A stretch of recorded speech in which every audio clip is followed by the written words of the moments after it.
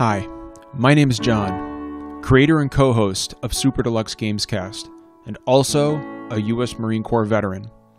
Right now, our country is being ripped apart by a man who cares for nothing and no one but himself, and whose only desire is to cling to power illegally as long as he can.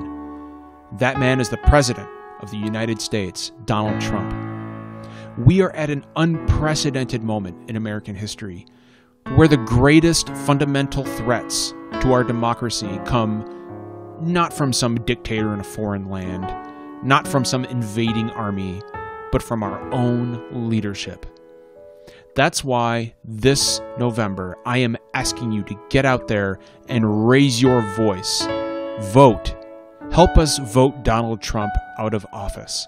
Now, I believe that there are still enough of us out there who are willing to listen to the better angels of our nature to lead us out of this. I believe that we can still fundamentally change the way this country works moving forward. I don't think it's too late, but that change has to start with you and I, right here. Lift your voice, make yourself heard.